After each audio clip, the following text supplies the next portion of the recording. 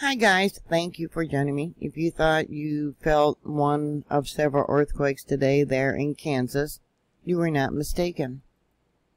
At 1244, there was an earthquake near Bluff City, Kansas.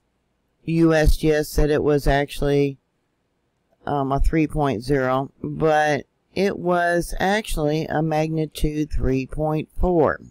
Here is the signature as it came in at Kansas State University, and you can see at the bottom, it was actually a magnitude 3.44, not a 3.0.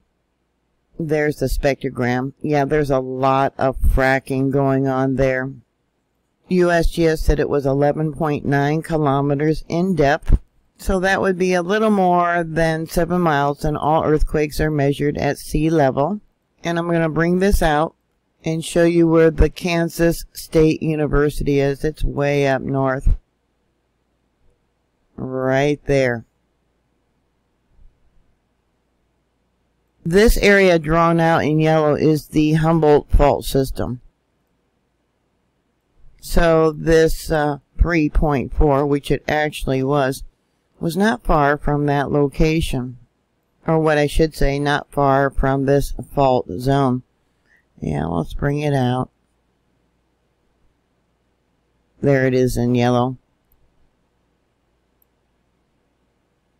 You can see all the platforms. I don't know if you can see it. But there is a lot of fracking going on in this area. And there's a lot of faults that go from uh, east to west. Supposedly, the largest earthquake in the history of Kansas was in 1867.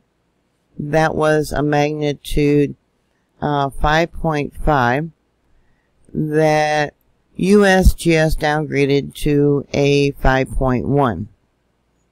Just like the one today that USGS said was a 3.0, it was actually a 3.4. An article I found from 2014, it says that from 2010 to 2012. There were more than 300 earthquakes with a magnitude 3 or above in the central and eastern United States. Compared, compare that with 21 per year on average from 1967 until 2000.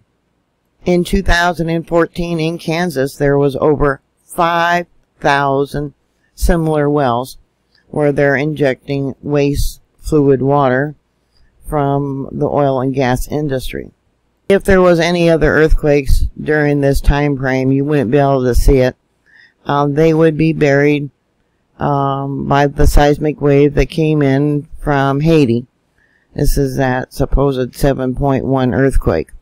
There was another small earthquake at 1711 that USGS isn't reporting.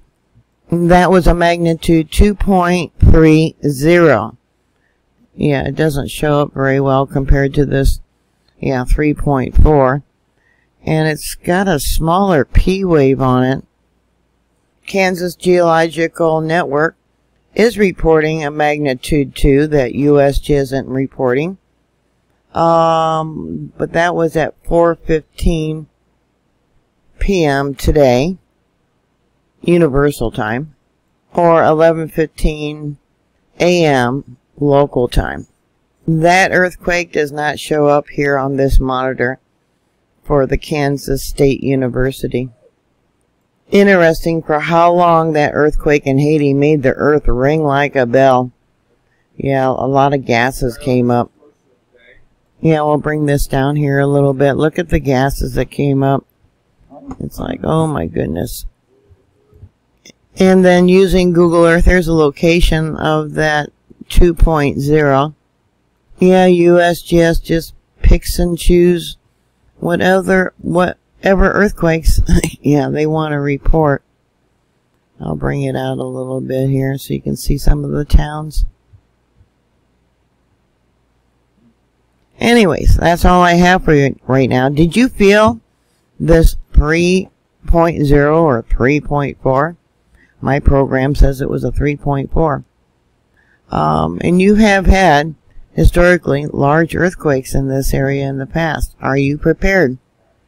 There has been damage caused by some of these earthquakes, and they're only increasing. So what are your thoughts? Please put those comments down below. Thank you for watching.